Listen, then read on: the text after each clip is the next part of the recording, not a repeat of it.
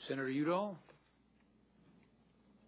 Good morning, gentlemen. Thank you for appearing here today. I also want to add my uh, voice to those here, Mr. Secretary, and thanking you for your long service uh, to our country, and we wish you well as you return to uh, your walnut farm and your grandchildren uh, in California.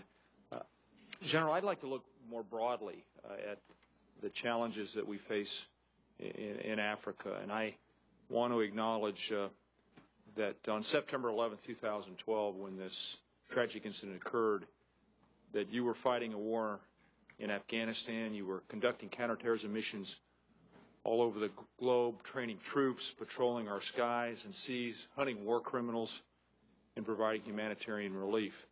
And despite that enormous uh, mission load, you've clearly taken the deaths of these four statement, uh, State Department employees in Benghazi to heart as if they were your own. Uh, and we will learn from this. Uh, we will do everything possible to ensure that doesn't happen again. Secretary Clinton made that clear in her compelling testimony uh, over the last weeks, and, I know you share that point of view.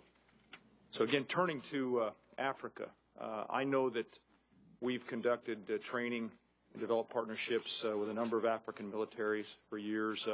Uh, I think it's in North Africa as well as in the Sahel. talk a little bit about those training relationships, those formal ties, and how they're going to help us uh, deny uh, extremists the opportunities to develop footholds in that part of the world?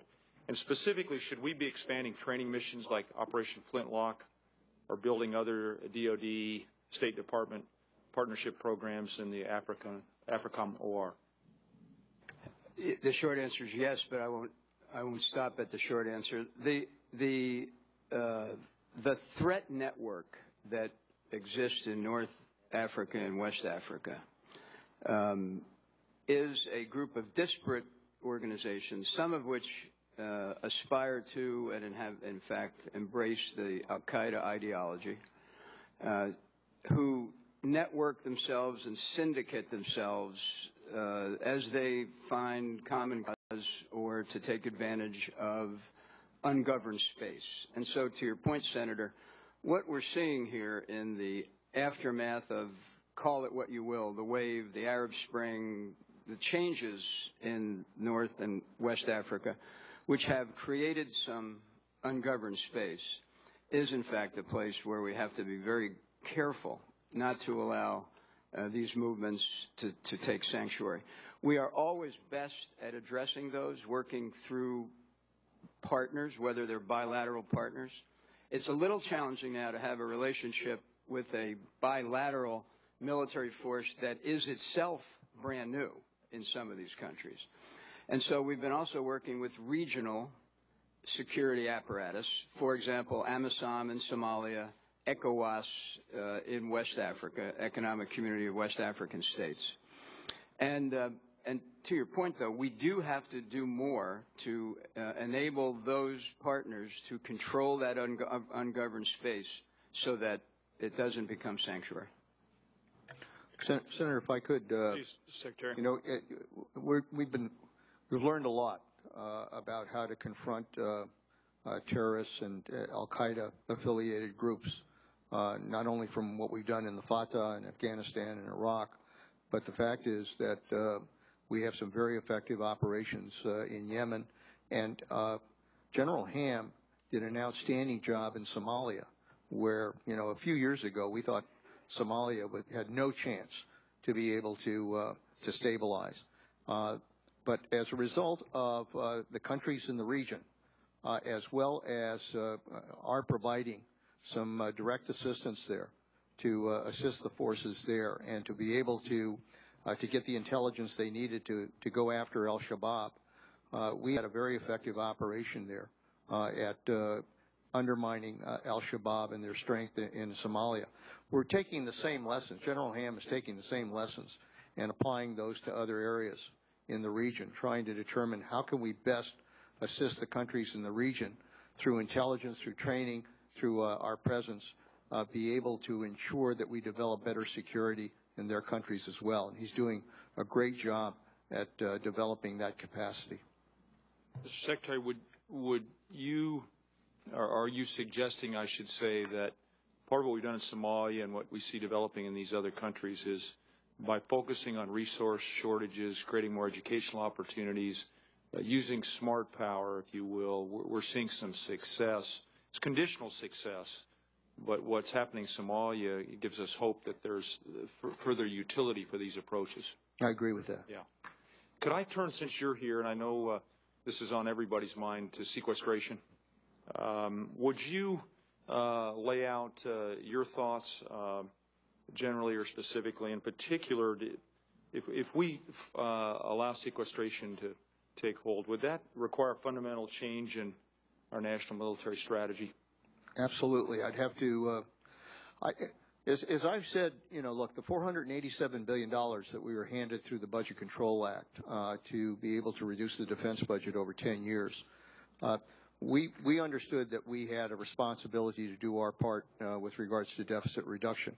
But we wanted to do it in a way that wouldn't hollow out the force or make these across-the-board cuts that would uh, hurt every area of the military. So we developed a, a strategy, a defense strategy, that we thought represented uh, what the force of the 21st century ought to look like. And then we built a budget based on that, and we've recommended savings pursuant to that budget uh, that were incorporated in our FY13 budget. Uh, and we, frankly, we were doing the same thing for FY14. If sequester takes place, and we suddenly have another half a trillion dollars that I got to take out of the defense budget in an across-the-board fashion, frankly, the defense strategy we put in place, I'd have to throw out the window. And we would, we would, we would clearly impact seriously, uh, particularly on maintenance and readiness. As I said, we, we would have a terrible readiness crisis. But as time went on, uh, and the erosion that would take place in our capabilities, uh, instead of being a first-rate power in the world, we we turn into a second-rate power. That would be the result of sequester. General Dempsey, if I could follow up on the Secretary's general analysis of where we are. We're talking about increasing the number of Marine security personnel at our embassies. If sequestration went into uh, effect, uh, how would that uh, affect our, our other missions? I, I, I think this is, uh, you're, you're, you're potentially robbing Peter to pay Paul. It- Well, that's right, and we haven't done that analysis, but what I, what I will say is it would cause us, we have to go back and look at our national security interest, uh, and, uh, as we always do, and, and make sure that we're addressing them in the right priority. And it, I think where you would see it affect us uh, most quickly and most prominently is in the, you know, we, last year we talked about rebalancing to the Pacific. We also talk internally about the balance we have kind of vertically. If rebalancing to the Pacific is a horizontal activity, vertically we have to decide how much of the force can we have forward, how much rotational, how much in the home, in the, in the homeland, and I, that balance would change, and you'd have less ability to project power forward, which means you're less able to deter and deter enemies and assure allies. That's a significant change. The second place is in the defense industrial base. We would have significant challenges in our factories and our depots that ha- will have a long-term effect. I know my time's expired, and you may want to answer this for the record later, but we're just finally, it feels like, getting a handle on ops tempo for our personnel. And what I hear you implying in that answer is that we're going to go right back to a one-to-one or a one-to-two even uh, ops tempo for our men and women in uniform. And we've asked a lot of them over the last 12 years. We've really Yeah, I, I can the answer that really quickly. I, I, you won't find this chairman arguing that we need to do more with less. You'll find me arguing that if that happens, we need to do less with less. We'll leave it there. Thank you again, gentlemen. Thank you, Senator Udall. Senator Chan.